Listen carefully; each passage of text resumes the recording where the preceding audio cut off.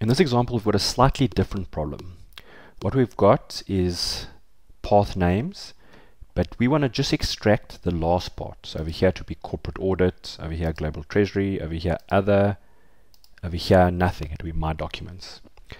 The problem is, how do we know at what point do we want to extract? We can see it's the backslash. But do we have to, how many backslashes do we have to work out? Do we have to use find and find each of them and build some complex formula? And what we can do is basically trick Excel into telling us what is the last backslash. So the first thing we need to do is work out how many backslashes there are. Now what I'm going to do here, you can do in one formula, but I'm just going to do it in multiple columns so that you can see how it works. So the first thing I'm going to do is work out how many characters there are in that cell there's a function called len. And what that does is it tells me how long that cell is.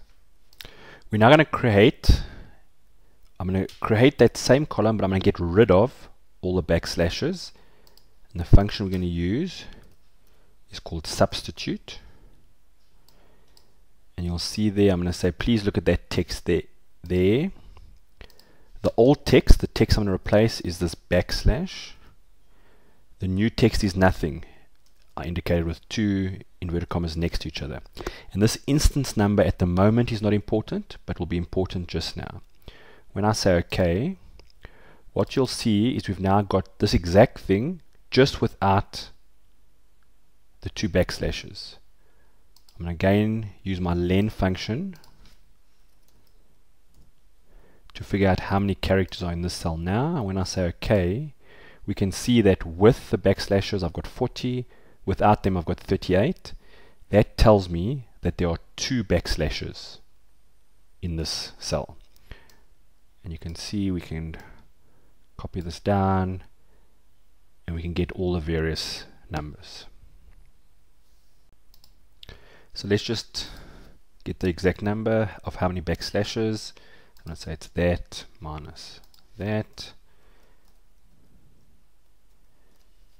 And we now know what the last backslash is. So this is useful, but now how do we get Excel to tell us where that last backslash is found? Remember, we're eventually going to use one of the left, right, and mid functions. So we need to know where the second backslash is, where the first one is, etc. The third one over here.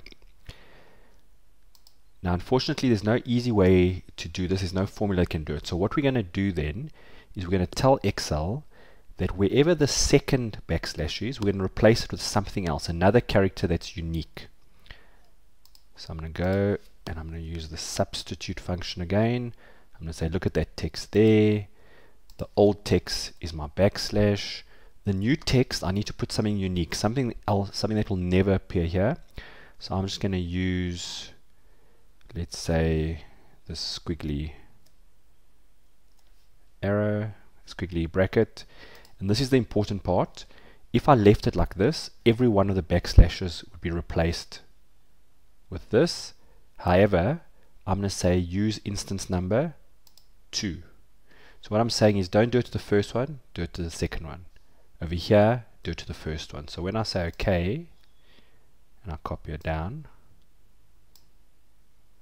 what you'll see, and we'll get to those just now, is that we've now got an absolute unique character in this area. We can now use our find function and I can say please find the squiggle within this text over here. When I say OK, copy it down. Notice it's now giving me the character number at which the last backslash is. Again, we'll sort these out just now. Now that we know that, I'm going to make use of a mid function. I'm going to say, please look at that text over there.